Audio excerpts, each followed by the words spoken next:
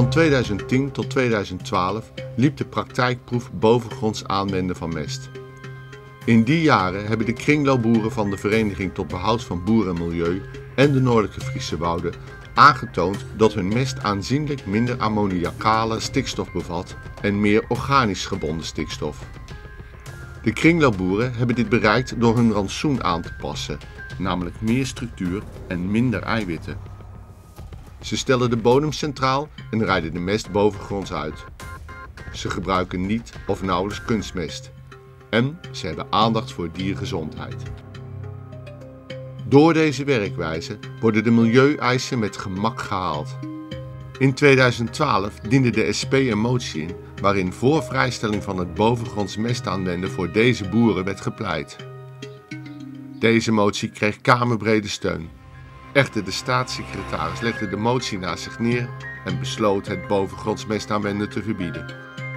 Ondanks de door ons geconstateerde haase tegenwerking gaan de kringloopboeren door met hun strijd om mest bovengronds te mogen uitrijden.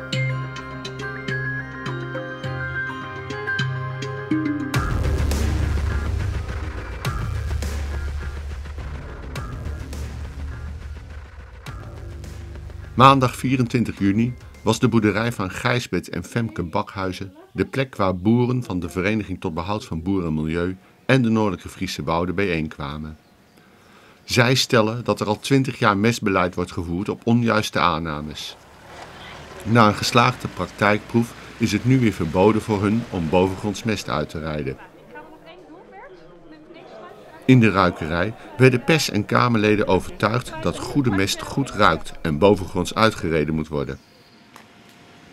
Nou, wij hebben als VBBM, Vereniging tot Behoud van Boerenmilieu en de Noordelijke Friese Wouden, uh, dit bedacht om deze bijeenkomst te organiseren.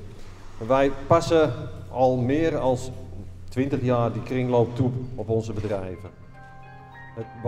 Deelnemers aan de bijeenkomst Mestruikerij konden met een reuktest bepalen welke mest van een kringloopboer was.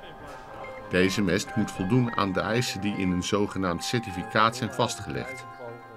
Kringloopboeren vinden dat goede landbouw begint bij goede mest. Zou jij je eigen poep herkennen? Of tenminste van de koeien? Uh, ja, ik weet eigenlijk niet eens of mijn eigen poep ertussen staat. Maar uh, ik, nee, dat durf ik niet te zeggen. Of ik die zou herkennen, want ik weet niet hoe die van de anderen ruikt. maar, maar ruiken ze dan iets? Deze die ruikt ook behoorlijk, uh, behoorlijk scherp. Ja, dat, daar ging ik net bijna vanaf ja, van nou, dat kan ik me voorstellen. En wat zit, wat zit daarin? Al meer dan zes jaar terug werd door professor Bauma uitgelegd hoe een certificaat voor de mest tot stand kan komen. Je kan ook zien, hij is wat dikker. Zegt er zijn milieueisen. Nou, oké, die definiëren we en zorg maar dat je het haalt. Maar dat kun je niet in zijn algemeenheid doen, dan moet je toch even zeggen, er zijn een aantal controleerbare dingen die die boer moet doen, die we vastleggen en als hij daaraan voldoet, dan kan hij mag je dat doen. Hè? Zoiets. Hè? Ja, ja, ja. Dat is een ontwikkeling, hè? maar dat is wel een lijn waarbij we ons dan richten op de, op de, op de good management. Hè? Want dat moet, dat moet eigenlijk het uitgangspunt zijn en niet de mensen die het verkeerd doen. Maar dat, dat is een stuk ontwikkeling, ja, wat je zegt, tot 2008. Toevallig heb ik hier nog een, een paar, uh, nog twee, dit jaar van mezelf. Nou, ik ben een biologische boer. Stikstofoverschot. De eisen waren onder 140 kilo. En ik heb gerealiseerd 5 kilo, dat is bijna 0. Fosfaat is 0. Nou is een ureumgehalte van 17, dat is ook een heel belangrijk cijfer. Hè? Dus dat is uh, een hartstikke mooi certificaat. En we hebben er inmiddels 10 van in de la liggen en we doen er niks mee. We kunnen er ook nog niks mee. Dat is wel frustrerend. Wordt niet erkend, terwijl het in eerste instantie genoemd werd als, nou, als jullie uh, kunnen borgen wat jullie doen, dan, dan, dan, dan, dan kunnen we eh, vrijheden eh, in de vorm van de bovengronds uitrijden. Nou, vijf uh, kan het ook wel schudden.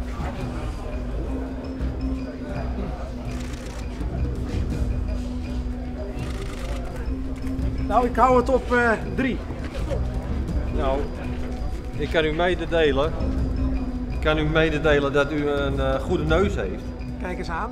Ik vind het ontzettend uh, belangrijk dat uh, die kringlopenboeren die zich hebben verenigd, dat die ook een kans krijgen om een experiment waar ze erg veel waarde aan hechten. En waar ook best veel voor te zeggen valt, dat dat gewoon ja, door moet kunnen gaan. Dus, eh, en dat wordt overigens ook gesteund door een hele grote Kamermeerderheid. Eh, er is een motie van mijn hand aangenomen om dat experiment ook eh, volop kans te geven. Wat je ziet is dat, de, dat de, de resultaten op die bedrijven over het algemeen goed zijn. Nou, dat lijkt me een mooie reden om door te gaan met bovengronds uitrijden. Het is dus heel erg eh, triest dat het kabinet eigenlijk, eh, en in dit geval eh, mevrouw Dijksma, ja, die motie eh, op dit moment nog steeds weigert uit te voeren. Als de motie, de motie van u kamerbreed gesteund wordt, hoe kan het dan toch dat de staatssecretaris zegt we voeren hem niet uit? Door wie worden we dan eigenlijk bestuurd? Nou ja, de vraag is, eh, ja, eh, wiens belang dient zij? Hè? Dat is natuurlijk, eh, en er zijn ontzettend veel belangen gemoeid met de producenten van al die apparatuur hè, voor ondergronds injecteren. dus dat heel erg op productie gedreven landbouw, daar zitten natuurlijk enorme financiële belangen achter. En ik denk dat dat op de achtergrond best een rol zou kunnen spelen.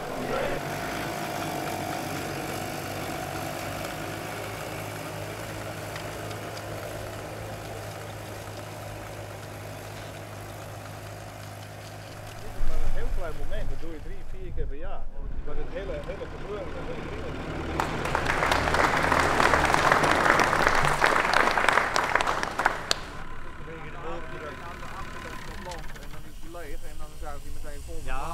Nou, echt eh, mest gespoten.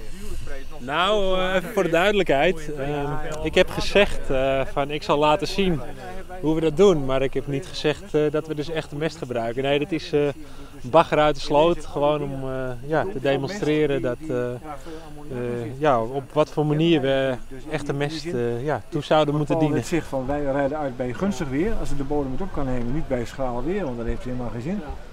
En daarom dat wil je ook een beetje in je eigen hand houden. doet dat ook, want anders heeft hij zichzelf te pakken. Ja, Maar je, dan- je wil zo efficiënt mogelijk met Dan ben de je mineralen kwijt. De natuurwetten kun je niet veranderen. Dus dat komt vanzelf een keer aan het licht. Ze kunnen het nog heel lang tegenhouden, maar ze moeten een keer door de bocht. Dat kan niet anders. Dan moet de boel altijd blijven belazen. Ja, Op een keer kom je erachter dat het toch anders zit als je dat vroeger dacht. Dus, dat kan niet anders. En hoe lang het duurt, weten we niet, maar we hopen zo kort mogelijk.